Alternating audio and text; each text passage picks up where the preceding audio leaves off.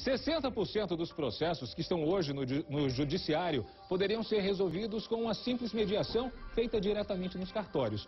Pois é o que passa a valer a partir de segunda-feira em todo o país. Aqui no DF, alguns já se adiantaram e estão preparados para atender os interessados em resolver rapidamente um conflito que poderia se arrastar na justiça.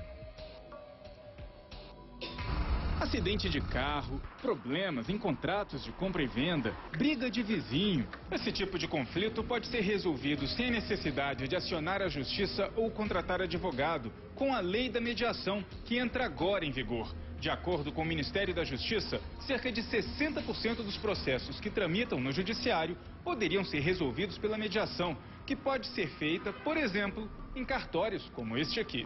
Funcionando perto da região do Grande Colorado, ele já está preparado para atuar nas mediações. Vai oferecer a partir agora da, da segunda-feira, né, quando a lei entra em vigor, esse serviço de mediação, porque temos no nosso, no, nos nossos quadros aqui juízes de paz que são vocacionados para essa questão de pacificação social. Por aqui, a maior parte dos casos deve ser de conflitos entre vizinhos. A gente acha que vai ter muita demanda de conflitos menores, né? Que a mediação é bem indicada para esse tipo de, de conflito, que é conflito entre condôminos, né? Problema de pagamento de aluguel, é, problema com síndico, enfim, quiser notificar um morador e submeter aquela questão à mediação, pode vir que a gente vai dar o tratamento a isso. Esse juiz de paz explica que qualquer pessoa neutra no conflito pode ser a mediadora, desde que os envolvidos concordem com a escolha. A pessoa interessada em resolver o conflito pela mediação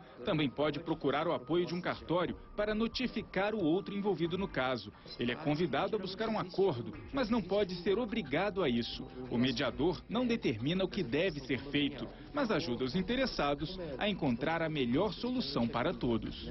O meu papel é auxiliar a entender o lado do outro, da outra pessoa que também está envolvida no conflito e, além disso, ajudar as partes a juntas trabalharem para que assim elas consigam chegar à resolução daquele conflito de forma pacífica e que todos saiam